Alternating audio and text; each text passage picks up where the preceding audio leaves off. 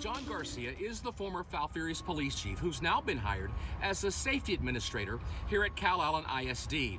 And one of his jobs is to look at the possibility of setting up a police department for the district. They brought me in to, to do analysis on, on, on what we would need to do if we want to go in the direction of a police department. John Garcia says he's just been on the job since late January and has a full plate of security and policing concerns to look at in his new role as the district's safety administrator.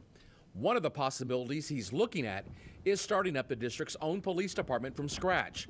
Right now, the district uses security guards and officers from various law enforcement agencies to patrol the schools obviously having your own police department will help you focus more on on school related issues.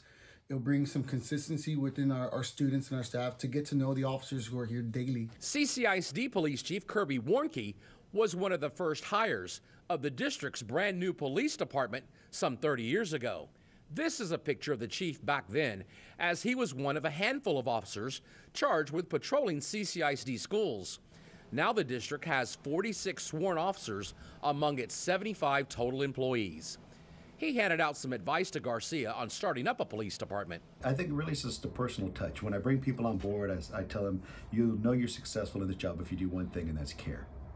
You start from that point and move out, then I think you're gonna you're gonna be successful. John Garcia believes that having a district police department will save Calallen ISD at least a couple hundred thousand dollars a year.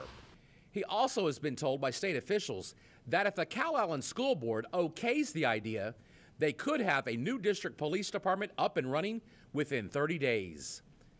Michael Gibson, 3 News. All right, thanks for that, Michael.